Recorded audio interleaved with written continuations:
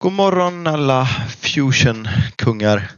Ja, igår natt så satt jag och pillade på att fan, jag skulle vilja göra en knapp. Jag skulle vilja se om jag kan rita en, en, en knapp i cockpiten här så sitter det massor av knapp, knappar och bland annat här på så kallad low light panel sitter det massor av knappar. Där ser ni. Eh, man ser inte dem så bra.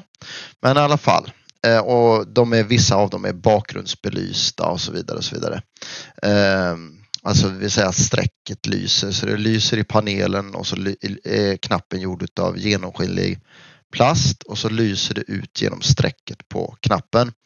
Jag vet inte om man kan se det på någon knapp här men den ska väl vara sån, någonting sånt där. Ja, det är inte många som är sådana men vissa av dem är, är sådana så att det lyser bakom dem.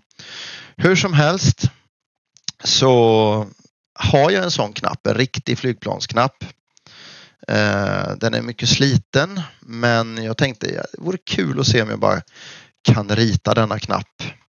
Och ni ser formen på den. Den har en liten fillet chamfer eh, eh, på ja, fillet eller Champer, ja lite rundning och en liten rundning och den har rundningar på massa olika ställen. Den har eh, grub screws eller låsskruvar och hålet är, klipper in i eh, grooves eh, i spåren här.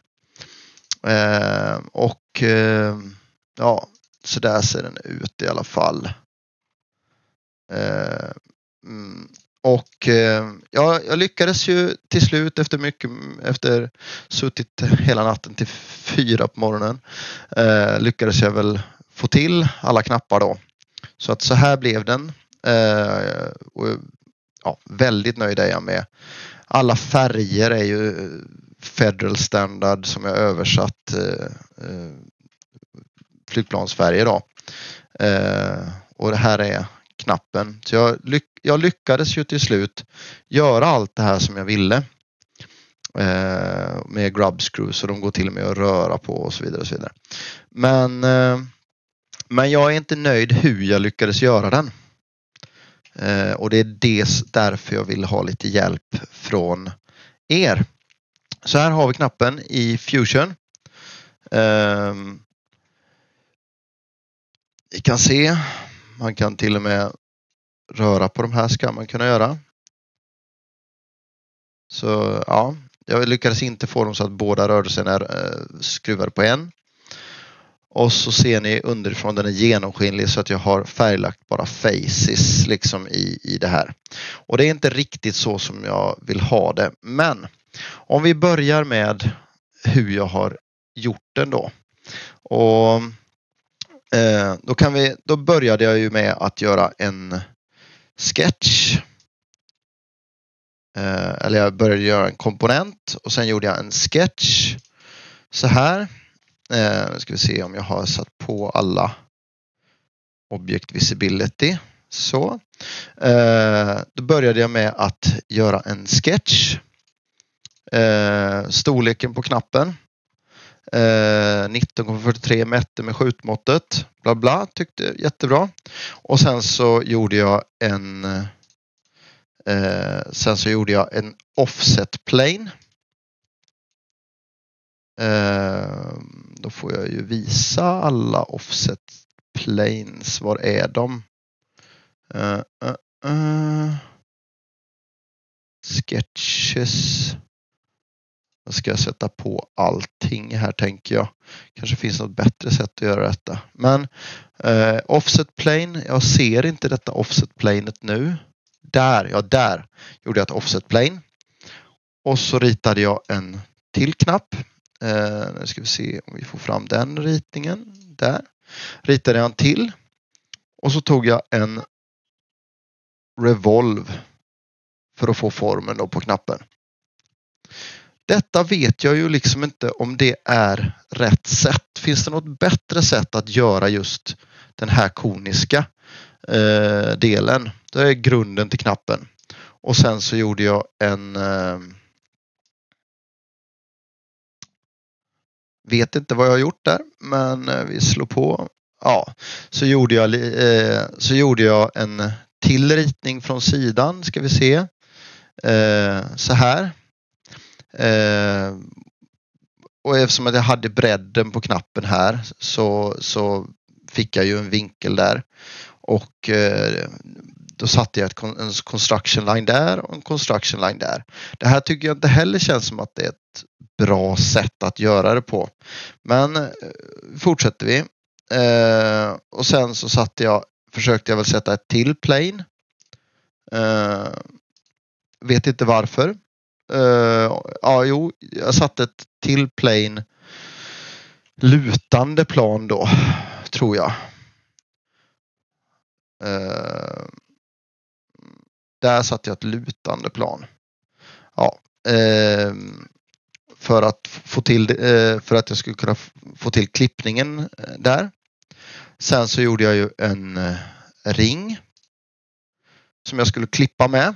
Först så tänkte jag, om jag klipper bara rakt ner så måste man väl kunna eh, luta klippningen. Men det kunde man ju inte eftersom jag klippte i förhållande till den platta delen så klippte den ju bara rakt ner i knappen. Så det var ju inte så som jag ville ha det. Eh, men jag gick tillbaka och gjorde den här planet där och det, det känns som att det här är liksom fel sätt att göra det på. Sen så gjorde jag väl en champ för någonstans på någonting. Uh, nu har jag vet jag inte varför jag inte ser bodyn här. Uh, varför ser jag inte bodyn? Um, har jag stängt av någon visibility av någonting?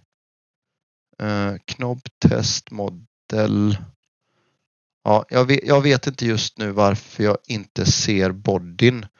Ehm, men ja, i alla fall. Ehm, så kan jag göra. Så, så ser varför är den genomskinlig? Ja, nu vet jag. Jag har ju satt ett material att den ska vara genomskinlig så det är därför den är genomskinlig. Och den är alltså akrylplast. Ja, så gjorde jag klippningen. Bam, så.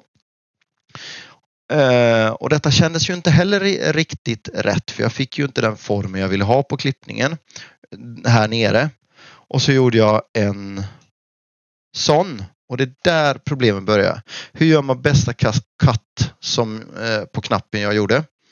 Eh, då blev det ju så här och en liten, liten, liten punkt där som inte eh, en liten, liten punkt där som jag liksom inte fick till.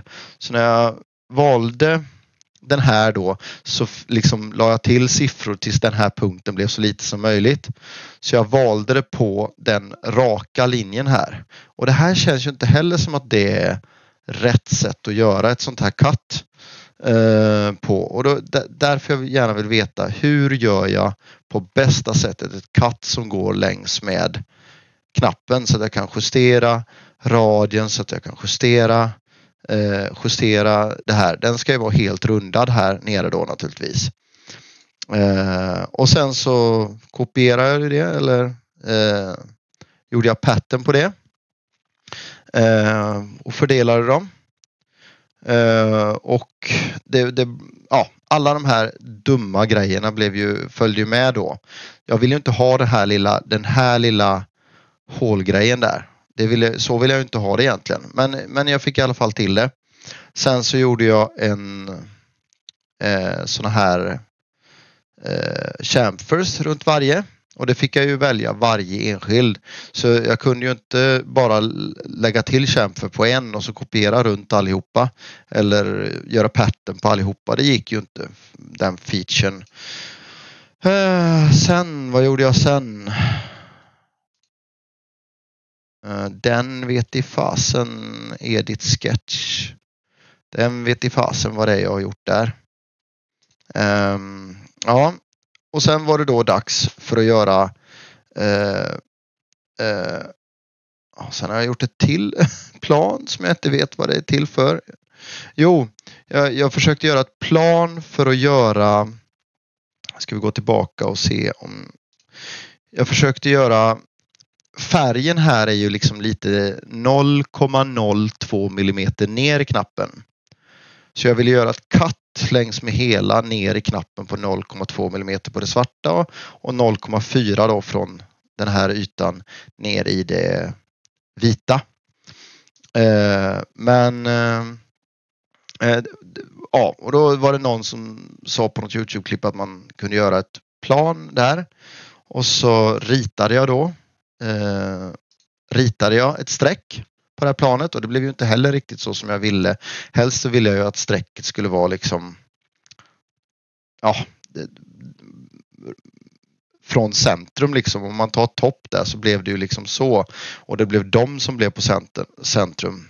Och det var ju inte så jag ville ha det. Jag ville ju ha strecket på knappen och den, de offset i förhållande till varandra.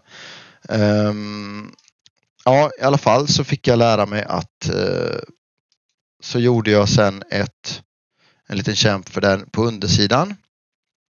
Och sen så gjorde jag den där eh, offset split faces. Så då valde jag den, den rundade och den övre delens eh, faces och splittade dem enligt Youtube-videon då. Och då kunde jag välja så att den här, om jag väljer den, Edit Features, då fick jag den här profilen för då valde jag de här Faces to split, tre stycken faces to split och så splitting tool som då körde igenom hela knappen på något vis. Eh, och det var ju typ så jag ville ha det. Och då fick jag den här linjen. Men då har jag ju splittat faces. Så de är ju inte riktiga så. Eh, Uh, och sen väl valde jag offset faces. Offset faces. Jag vet inte vad det är jag har valt där. Jo, det var nog jag vet inte vad jag har valt där. Ja, 0,4 mm. Ja, det är djupet där. Ja, push-pull har jag valt på de här faces då. Så jag har pushat in dem då 0,04 mm. Och sen så valde jag den eh, svarta strecket och gjorde samma sak med det, push-pull. Och, och sen så färglade jag alltihopa eh, för att få, få det så då. Och så valde jag ja, bottenhålet och extrude på bottenhålet och skapa den här inuti knappen så sitter det en mäss, kromad mässingsring som grubscrewsens är gängade in i. Eh, och så extrudade jag väl det också eh, dit för att den är ju inte så. Eh, ja. Eh, så nu började jag ju få till knappen då eh, så som jag ville ha den. Eh, men jag, jag, känner fortfarande att det här är inte liksom rätt sätt att göra saker och ting. Eh, och så gjorde jag extrude och så skapade jag ett till plan för att jag skulle ha någonting att ha grub screwsen i förhållande till. Eh, så jag har ett till plan här mitt i knappen och det vet jag inte heller om det är rätt. Och så ritade jag på det planet och 45 grader utifrån det planet. Så om man tittar då, Edit Sketch, så ser man att jag har satt den i förhållande till den construction linen och så ritade jag dem ut där i förhållande till varandra. Jag hade massa släkt där då naturligtvis när jag gjorde detta. Men eh, då fick jag eh, tre constructions lines som jag trodde jag skulle kunna använda för att göra hålen. Men det gick ju knappt eh, att göra det. Eh, så jag känner att hålen har jag heller inte gjort riktigt på rätt sätt. Men jag lät det vara. Och sen så skapade jag ett plan i förhållande till denna. För jag kunde ju inte göra ett hål rakt in mot centrum. Det gick ju inte. Eh, och så ritade jag på det planet eh, en ring He, vet inte varför, men jag ritade en ring och så tryckte jag på, på det, den grejen jag ritade och så gjorde jag ett hål. Eh, och så gjorde jag ett pa, eh, padden med två och satte dem i förhållande 90 grader i förhållande till varandra. Eh, och sen så tog jag ju lite fillets runt om Eh, och så tog jag grub screws och la in. Eh, där.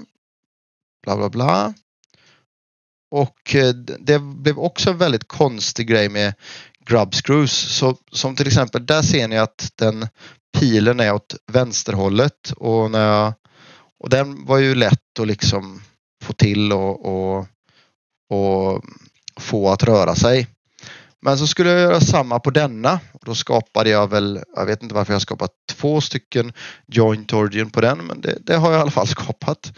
Eh, och så låste jag det till denna eh, då jag skapade väl ett eh, eh, men det som är grejen är då med, nu ska vi se, det här jointen, det är att pilen är åt andra hållet och hur jag än gjorde så lyckades jag inte få den åt rätt håll. Så jag har liksom olika inställningar på de här två grubscrewsen.